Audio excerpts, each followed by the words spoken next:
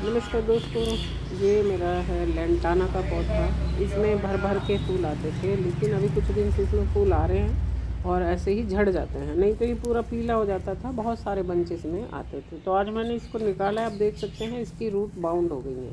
इसकी जड़ें बिल्कुल नीचे तक चली गई और ये देखिए, ये इसमें मैंने पत्ते उत्ते जो दबाए थे, वो सब गल के खाद बन गए और कितनी सारी इसकी जड़ें आ गई है, देखिए। एक्स्ट्रा जड़ें जब बहुत सारी आ जाती हैं तो क्योंकि गमले में स्पेस कम होता है। जड़ों को फैलने के लिए जगह चाहिए। अगर जड़ों को फैलने के लिए जगह कम पड़ जाएगी, ज़्यादा जड़ें हो जाएँगी तो रूट्स जो होती हैं वो जो न्यूट्रिशन है, वो पौधे के जो दूसरे पार्ट्स हैं, फूलों तक, पत्तों तक नहीं पहुँचा पाते पूरी तरह से। और रूट बाउंड होने के बाद हमारे जो फूल हैं वो नहीं खिल सकते। तो अगर फूल झड़ रहे हैं आ ही नहीं रहे या फिर छोटे आ रहे हैं साइज़ छोटा हो रहा है, फूल हो, फल हो, जो भी परमानेंट पौधे हैं उनके तो इसका मतलब है कि आपकी रूट बाउंड हो गई है। तो उसमें लगभग आपको साल में एक बार उसको जो है, इसको रिपोर्टिंग इसकी करनी होती है। आप देख सकते हैं पूरी मिट्टी में जड़े जड़े दिखाई दे रही हैं। देखिए कितने बड़े बड़े इसमें गुच्छे इसके बन गए हैं। तो इतनी सारी जड़ें जब होंगी तो पौधे का न्यूट्रिशन पूरा ऊपर पौधे तक नहीं जाएगा और ज़्यादा जड़ें होने की वजह से हमारे जो फूल हैं वो नहीं खिलते।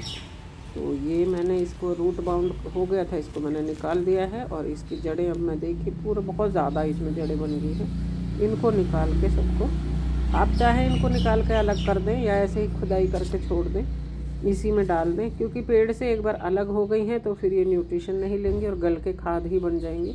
तो इस तरह से अगर आपके पौधों में फूल नहीं आ रहे हैं तो और नड़ाई गुड़ाई जब आप कर रहे हैं उसकी तो उसमें अगर जड़ें आ रही हैं, आपको जड़ें फैली हुई दिखती हैं तो इसका मतलब आपकी रूट बाउंड हो गई है इसकी, पौधे की। और पौधे को जो है, इस समय रिपोर्ट करना बहुत ज़रूरी है। ये पूरा भर जाता था फूलों से, लेकिन अब कुछ दिन से ये नहीं फल फूल रहा, फल फूल रहा ढंग से। तो इसमें फूल कम आ रहे थे, ठीक है? तो इसमें बहुत सारे वेस्ट चीज़ें मैं मिट्टी में मिला देती हूँ, जैसे मूंगफली के छिलके वगैरह, जो भी नीचे मिलाए थे, अब सब जो है वो गल के खाद बन गए हैं।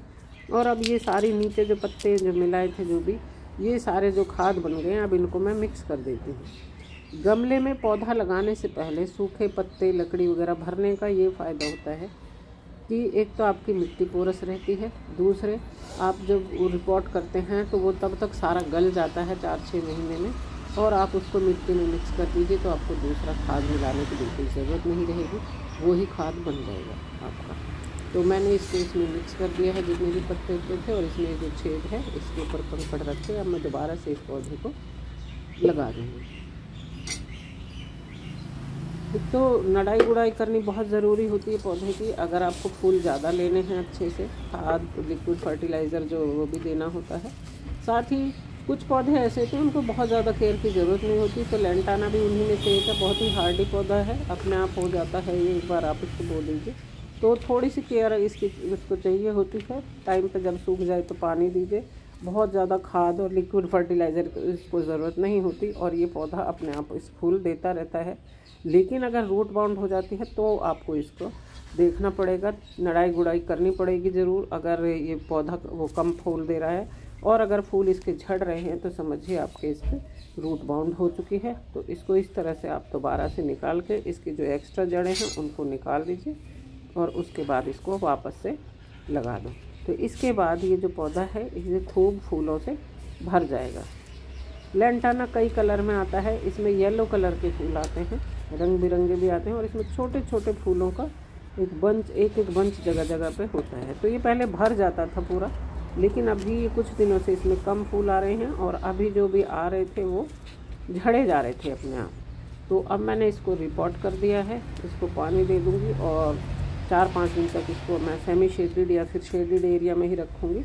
वैसे भी आजकल ठंड है तो धूप आ ही नहीं रही है ज़्यादातर।